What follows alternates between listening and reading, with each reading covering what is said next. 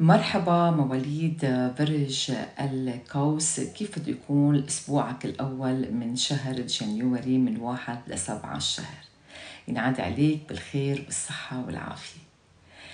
بواحد واثنين وكأنه في عندك تطورات جديدة بالعمل.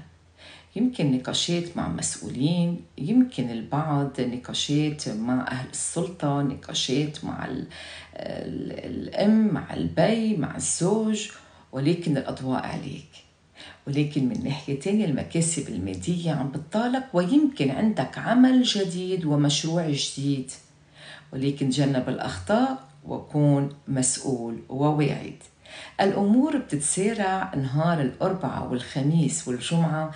الجمعة لغاية الساعة 12 آه، وحدة إلا تلت بتوقيت غرينتش.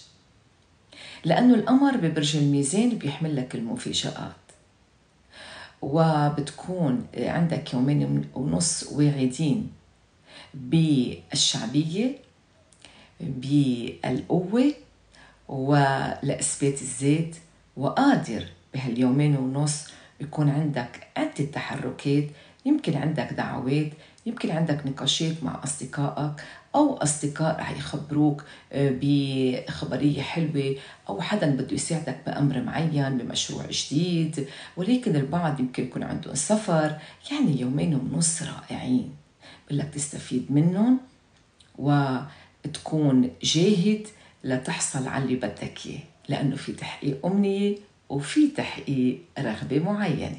ولكن من ناحية تانية بدي أقول لك إنه للأسف السبت والأحد يعني آه، بيكون القمر خلص صار برج العقرب بيضغط عليك شوي وبحسك على الهدوء والركود وعدم الرغبة بالتواصل مع البعض.